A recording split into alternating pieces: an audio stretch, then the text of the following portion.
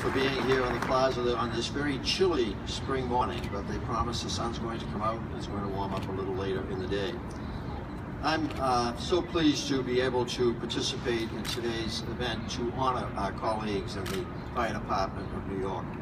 That 20 years ago, in my first stint as police commissioner, one of my great joys and honors and thrills, being quite frank with you, was to lead the department, our department, the NYPD, when we celebrated our 150th anniversary.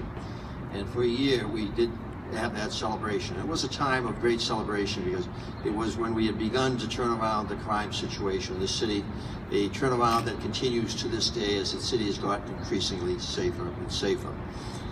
And so when I learned of the 150th anniversary of the fire department, I understood clearly what Commissioner Nigro and his chiefs and his department, the emotions and the feelings they must be having to also be in a position to celebrate their 150 years of distinguished service to this city.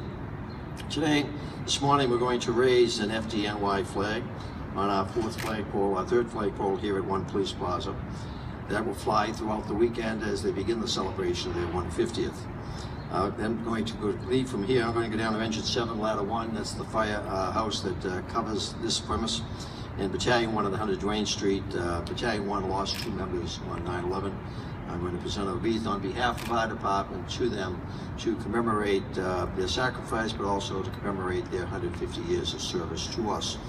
It's somewhat fitting in some respects that we're going to raise the fire department flag over this building. As you may recall, until the events of 9-11, the fire department actually occupied a portion of uh, police headquarters next door here.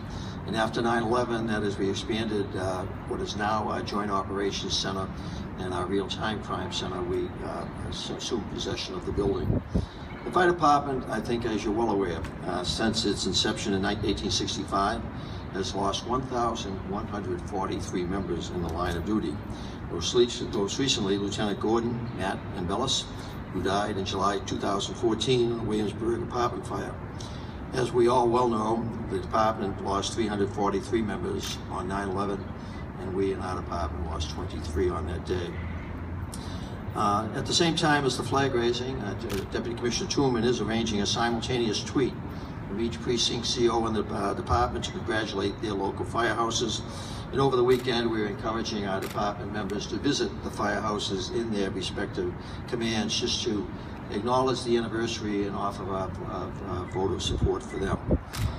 In honor of the 150th anniversary, I'd like to offer my congratulations to the Fire Department, City of New York.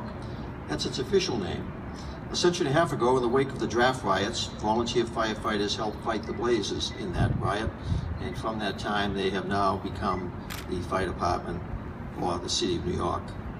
Up from those ashes came the best professional fire department in the nation, if not the world.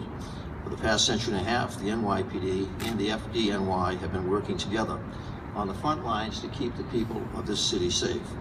Our agencies are truly like brothers and sisters.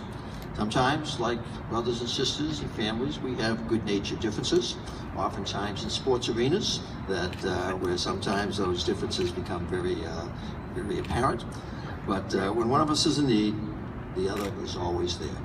We'll always remember the painted blue lines and NYPD flags on the fire trucks after the assassination of Detectives Ramos and. Something I think that, uh, even as I think about it now, uh, moves me.